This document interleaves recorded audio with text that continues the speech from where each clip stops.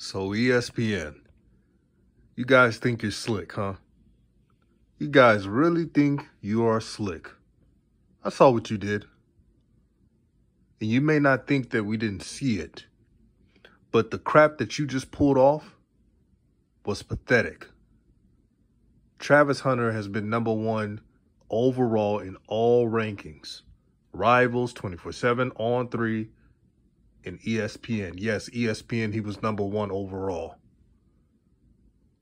So Travis Hunter decides to choose a school that's best for him, his family, and his future, that understands his culture. And this is what you shines do. I'm going to talk about it.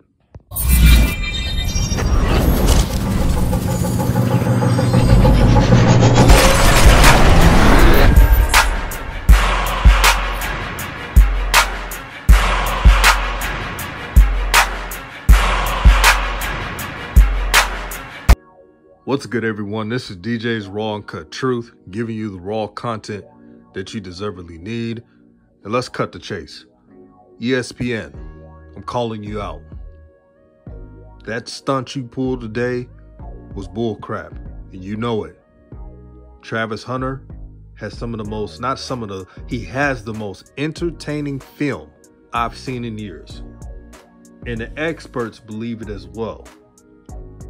The experts, aka like 24 7 Sports, who compared him to Charles Woodson. Now, they don't give those comparisons out willy nilly. You're talking about a young man who could have been number one overall as a wide receiver. He could have been number one overall as a running back. He could have been number one overall as a safety. This is what he's done.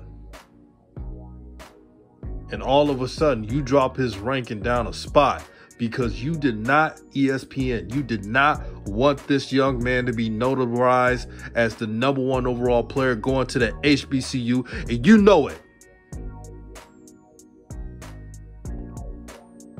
See, ESPN, you're about strike five right now. You're past strike three.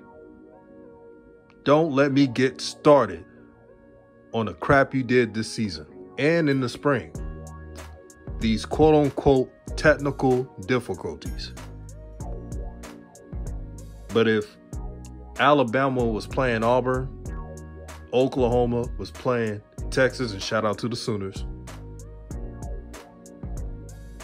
If Ohio State was playing Michigan, those teams I named, there would be no technical difficulties, no stoppage and media timeouts for just because uh, there's bad connection. No bad camera angles. How many times have you seen SWAC games, HBCU games overall, and there's horrible connections? The FCS playoffs had better camera angles, a better production than the HBCU games, and that's unacceptable it's it's times like this where I feel like it's best that there's another network that can showcase these games. ESPN, unfortunately, they have the money, they have the backing, and they have the platform. But I'm sick and tired of them. It is a game within a game, my brothers and sisters. Remember, I always tell you about the game within the game. Now you're seeing it.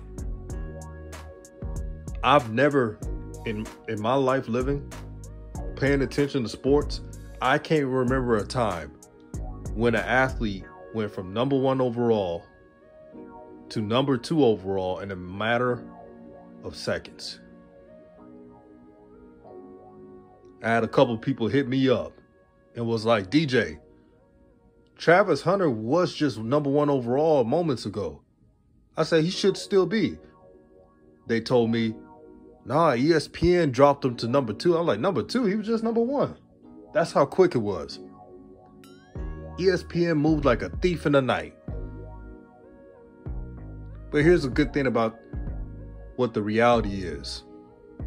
The reality is is that all the other credible sites on 3 recruiting 24/7 rivals, scout, you name it has Travis Hunter at number 1 overall. ESPN is the only website that has Travis Hunter number 2 which means you guys at ESPN have no credibility.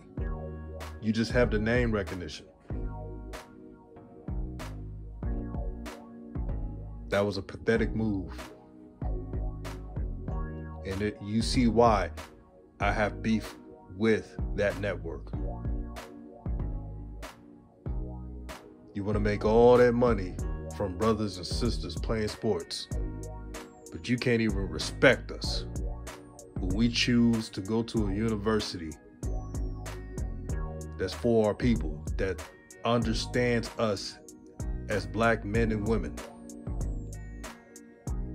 So what you fail to realize, and I'm talking to the the people who hates on a young man's decision, his decision. Let me repeat, his decision. It is his life. It's not your life, it's his life. And he has the right to do what's best for him, his family, and his future, like I said earlier in this video. And to the Florida State fans, uh, Florida State's a historical brand.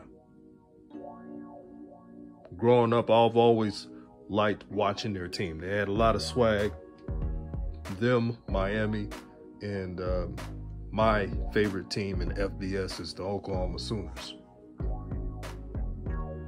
The Sooners were my number one favorite team in FBS, but Florida State was a school I admired looking at. And they had the swagger and, and the athletes that go to the NFL, all that, just like Miami. But to some of the Seminole fans who are out there burning memorabilia of Coach Prime Deion Sanders, a coach who used to play for Florida State, put Florida State on the damn map. And this is what you're going to do to him? Talking about he's not welcome back to Tallahassee anymore. Now, some of the brothers and sisters, you, know, you look at social media, they're disappointed. It's okay to be disappointed when you don't acquire a talent like Travis Hunter. So that's not the problem. But I'm talking about those other folks who showed their true colors. See, I'm glad you showed your true cl- colors after the situation. Because what it shows is that you don't care about the well being of these brothers. You only want to use their talents so you can entertain yourselves. Let's call it what it is. So, yes, I'm glad it was all exposed. And you know what? All the athletes saw that. Because Travis Hunter is very popular within players. And they saw your reaction. So I'm not I'm not putting an anti-FBS brand or anything. I'm just saying you got to be more respectful to these athletes. That's all I'm asking. And I don't want to hear about, well, if it happened in the SWAC, they would have acted the same way. I've never seen someone in the SWAC burn memorabilia over a decision. I haven't seen it. They may talk trash to a rival school, but they don't get down like that. The reaction was toxic as hell. And I don't even use that word that much, but I'll say it again. It was toxic as hell over a damn selection. Yeah, I would have been pissed off too if my favorite player, no, if a player decommitted to my favorite school. Yeah, I, I would have been like a fan, like, damn. But I would have never reacted like that. That's come on now. At the end of the day, it's sports. But Jackson State fans and fans of all HBCUs, don't let the negativity of outside influence steal your joy. This is history. And this is going to cause a ripple effect for the better. I cannot wait for the Celebration Bowl. Sold out. A lot of our people are going to be there supporting their favorite teams. But it's going to be a show. I just can't wait to see it on national TV. The bright lights, the cameras, two coaches going at it. The legendary Buddy Pough. He's put out NFL players at South Carolina State and Coach Prime Deion Sanders, who has his team 11 and 1. Isn't that amazing? Celebration Bowl is going to outsell and out viewership the FCS National Championship. Y'all already said it. it's going to do numbers. This is DJ's Raw Uncut Truth giving you the raw content that you deservedly need. Stay blessed out there. Have a positive mind. Uh, it's holiday season. Find a way to give back to charity, to, to the less fortunate. I mean, shoot, go on Google. You'll find somewhere to donate. Give back to the needy. Stop being greedy. Like DMX used to say. And uh, y'all have a blessed one. And I'm out.